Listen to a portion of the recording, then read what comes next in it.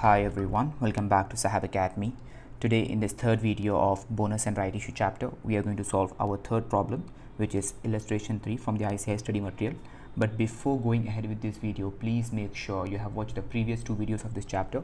In the first video, we have discussed everything regarding the bonus, the concept, legal provisions, everything, the accounting treatment, yes. And then in the second video, we have solved two problems, illustration 1 and illustration 2 of the ICAI study material. Now here, let's get back to this video and let's solve this. Now let's understand the question first. See here, illustration 3. Following notes pertain to the balance sheet of Solid Limited as at 31st March 2021. So we have been given the balance sheet extract. Let's understand. See here, authorized capital 10,000 12% preference shares of rupees 10 each, 1 lakh. Okay, that's the authorized preferential capital. And then here we have 1 lakh equity shares of rupees 10 each 10 lakh yeah authorized equity share capital. And then see here issued and subscribed capital 8000 12% preference shares of rupees 10 each fully paid up 80000 this is the preference share capital now you don't have to be worried about preference share capital because bonus issue is not related with preference share capital at all right? So that is why even after the bonus issue preference share capital will remain the same. There is not going to be any change in that. Fine? Okay. And then we have see here 90000 equity shares of rupees 10 each rupees 8 paid up. You see this? Equity shares are partly paid up. Equity shares are partly paid up so what can happen if it is partly paid up? If it is partly paid up then you all know to issue fully paid up bonus share what should happen? Share should be made fully paid up right? Then only issue of fully paid up bonus shares can happen according to the companies act yeah? So in this question what can happen? Two things can happen. Either either they will make a call and receive the money right? Making the shares you know fully paid up by conventional way. Or the second way is by way of bonus call. You have to see what the question says is that clear? Right we'll see that. 7 lakh 20000 that's the paid up equity share capital. Fine. And then see we have reserves and surplus. General reserve 1 lakh 60000 which is a free reserve. We can use that for bonus. Revaluation reserve is an unrealized reserve. We cannot use that according to the companies act right? So it is prohibited for bonus. And then we have securities premium collected in cash. If it is collected in cash then we can use the securities premium right? 20000 now even if collected in cash was not there still we would have assumed that securities premium is collected in cash only and we would have used that in the bonus issue. Is that clear? Right? Yeah. And then profit and loss account 2 lakh 5000 okay. And then here we have see a secured loan 12% debentures at rupees 100 each. Now you know this is going to remain as it is because it is not relevant to us in bonus issue. Yeah it's not connected. Okay. Then see here in the additional information on 1st april 2021 the company has made final call at 2 rupees each on 90000 equity shares. The call money was received by 20th april 2021 you see this line?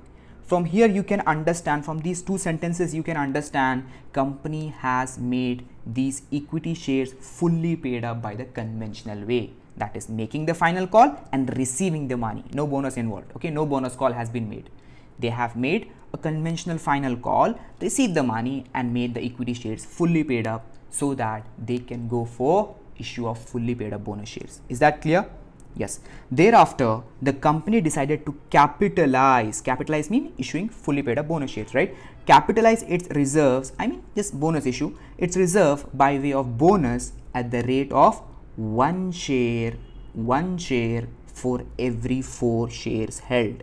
One share for every four means one is to four. One is to four, right? One is to four. So one is to four. You can interpret it like this: one by four, or you can say in terms of percentages also it's 25% yeah you know that four shares held if you have four shares then one additional shares will be given to you yeah one additional share will be given to you show necessary entries in the books of company and prepare the extract of the balance sheet immediately after the bonus issue assuming that the company has passed necessary resolution at its general body meeting for increasing the authorized capital. Now this last line also giving you a hint that hint that there is an authorized capital adjustment. What is authorized capital adjustment? Let's understand this. See here. What are the existing equity shares? 90000 you all know bonus is given on existing shares only. 90000 are the existing equity share what's the bonus ratio? Bonus scheme ratio? 1 divided by 4 right? So if you calculate how many bonus shares are being issued here? 22500 22500 the bonus shares plus the plus the existing equity shares then of course your issued paid up and subscribed capital goes what? Goes above the authorized capital. See authorized capital is how much? Authorized capital is 10 lakhs here. See let me just show you. 22500 plus 90000 shares yeah bonus plus existing that's equal to how much? 1 lakh 12500 shares. Into the face value the face value is rupees 10 so your capital yeah issued subscribed and paid up capital has gone 11 lakh 25000 right? And your authorized capital is 10 lakh. So in this case what you have to do i have always explained you right in both the previous videos that what you have to do whenever your you know issued subscribed and paid up capital goes above the authorized capital. Of course normal thing is you have to just just increase the authorized capital. You have two options. Either increase the authorized capital by the number of bonus shares issued that is here in this case 22500 or you can use you know the second approach where you just take the additional number of shares required. How will you calculate additional number of shares required? Really simple and straightforward. See here. This is the capital after the bonus issue how much? 11 lakh 25000 right? And what is your what is your authorized capital in this question? Authorized capital is 10 lakh. So just increase the authorized capital by how much? Minus 10 lakhs here. That's equal to 1 lakh 25000 yeah. You just need additionally 1 lakh 25000 now so just increase the authorized capital by that. Okay? Both the ways are right. Is it clear? Simple and straightforward. Now let's go to the journal entries and let's solve this question now here we have the journal entries. So how many journal entries do we have to pass in this question? It's really simple. See here which type of bonus is this? This is first type of bonus right? Issuing fully paid up bonus shares to existing shareholders.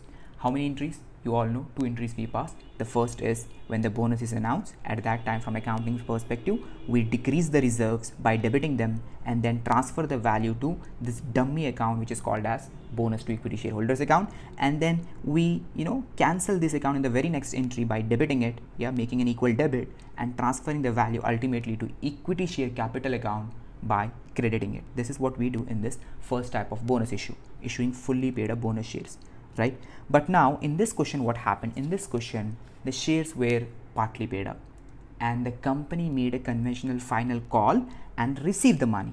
So because of that we have to pass additional two entries. It can happen. Depending upon the question you have to see okay? There might be some additional entries. Is that clear? There can also come you know a forfeiture entry yeah? Yes. So see here. First let's see those entries yeah? Making the shares fully paid up. So see here First, they will make the final call. Really simple final call entry. You all know equity share final call account debit to equity share capital account. Final call of rupees 2 per share on 90,000, isn't it? 90,000 equity shares, 2 is pending. So 2 rupees call. Okay. What is the amount? Really simple. 90,000 shares into 2 that's equal to 1 lakh 80,000 okay and then the money has been received as said in the question the call money was received by 20th April. So on 20th April, bank account debit, yeah, bank account has increased to equity share final call. That final call account you will cancel. Is that clear? After passing these two entries, your equity share capital is what is fully paid up, right? Your equity shares are fully paid up. It will be 10 paid up. Okay. And then what will happen? And then you have to proceed ahead with the bonus issue, issue of fully paid up bonus shares, the two entries.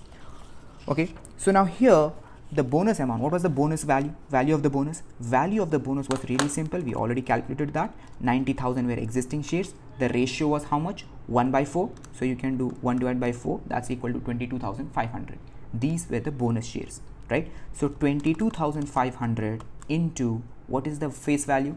Rupees 10 so this is the value of the bonus how much 2 lakh 25000 2 lakh 25000 so now you have to decrease the reserves by 2 lakh 25,000 and increase the capital by 2 lakh 25,000. That is the ultimate net effect, ultimate goal of the bonus issue. Decreasing the reserves and increasing the capital. You know that, right? So now from where this will come, you have to see that properly. This is first type of bonus. So you can take that money yeah, from these reserves. To lakh 25,000, you can take from CRR, SP, CR, and GR and yeah free reserves. GR PNL dividend equalization fund and so on. Is that clear? In this sequence you have to go. That's very important. But now in this question do we have CRR and all? No. What do we have? We have see here we have general reserve. We have revaluation reserve which we cannot utilize according to the companies act. We have securities premium. Now crr is not there. Leave it we have securities premium. That's the sequence now. First crr then securities premium. We have securities premium. Let's utilize that. 20000 yeah. Debit the securities premium account by 20000 is that clear? So see 2 lakh 25000 now minus 20000 sorry sorry sorry sorry sorry. 20000 that's equal to 2 lakh 5000 we still need some more right? So how much? We have to use the general reserve then. Or profit and loss. Okay there is no sequence inside the free reserve let's use the general reserve first 1 lakh 60000 okay? Debit the general reserve by 1 lakh 60000 okay? So minus 1 lakh 60000 then additionally we need how much? 45000 yeah? So that 45000 has to come from where? G general reserve is completely finished. We cannot use revaluation reserve. Sp is completely finished. We have profit and loss. Let's utilize profit and loss we have 2 lakh 5000 in profit and loss we can take out 45000 easily right? So debit the profit and loss yeah they have written balancing figure fine 45000 is that clear? So this way you will decrease the reserves by debiting it okay? Because reserves have credit balance. By debiting you are utilizing them up you're decreasing them. And then this value will be transferred to this temporary dummy account which is called as bonus to shareholders which comes under equity category. So equity has credit balance. If you want to increase the value in that then you will have to credit that account of course right? To bonus to shareholders account 2 lakh 25000 is it clear? Simple.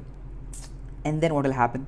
And then you all know we cancel the bonus to shareholders account when the shares are actually issued right? So to cancel what you have to do? Here it is credited. You will make an equal debit and cancel it off 2 lakh 25000 and then ultimately what will happen? The capital has to be increased. So you will increase the capital by crediting it to equity share capital account 2 lakh 25000 is that clear? Capitalization of profit. Ultimately profits reserves are converted into capital. That is what happens in the issue of bonus shares right? Okay.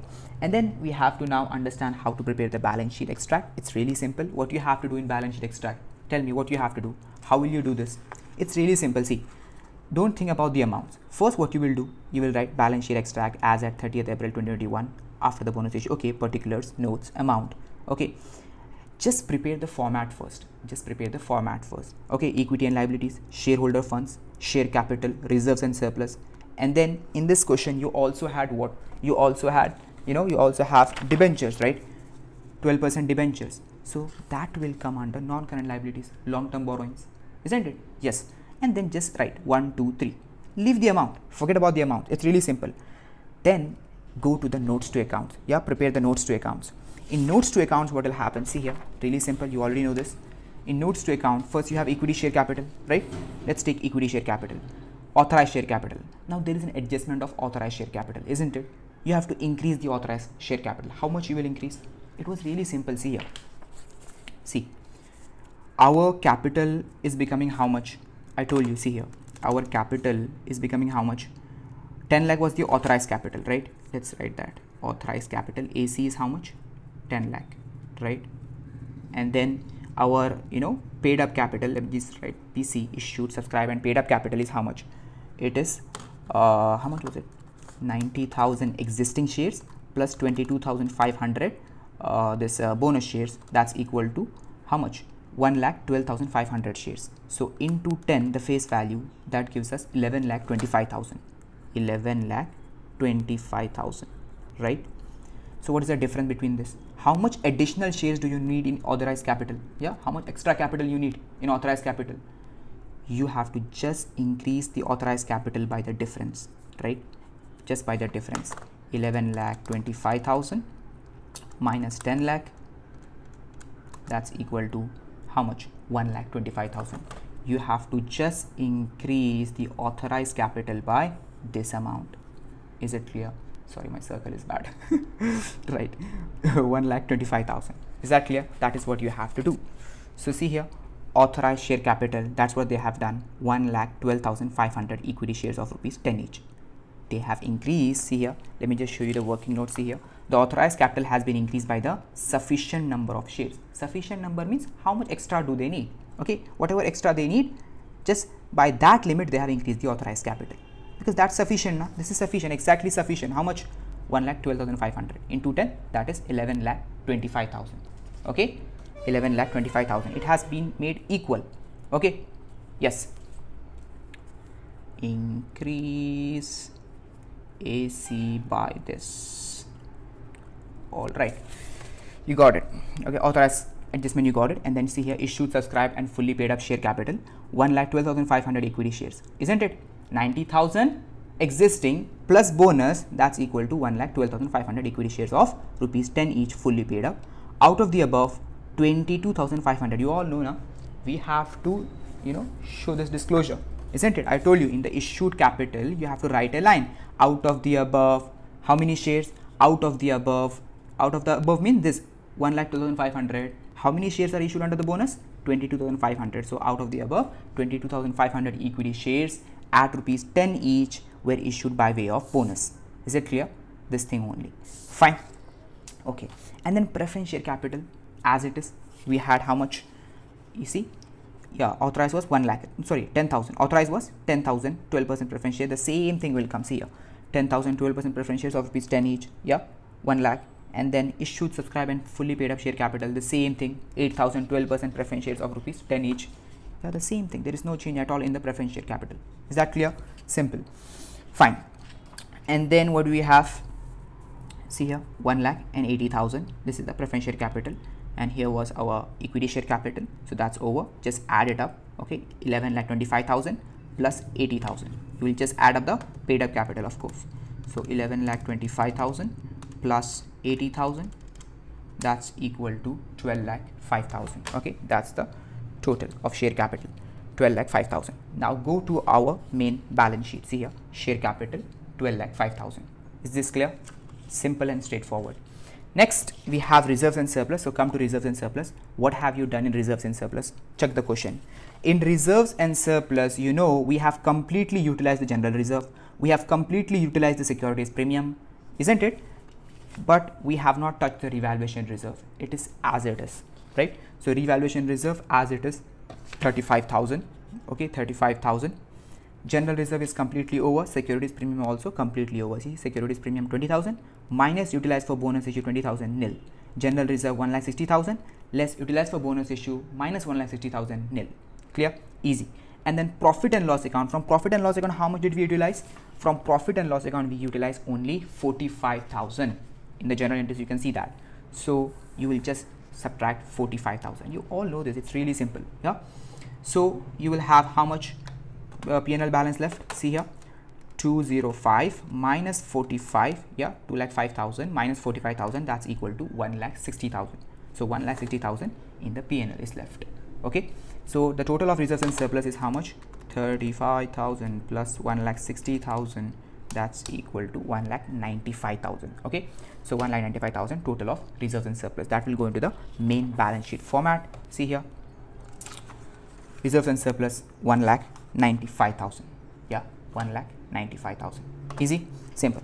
And then non-current liabilities as it is there is no change in that. Long-term borrowings. Yeah you just have to explain that in the notes to accounts right? Long-term borrowing secured 12% debenture is 180 the same thing whatever you had in the question now 5 lakh.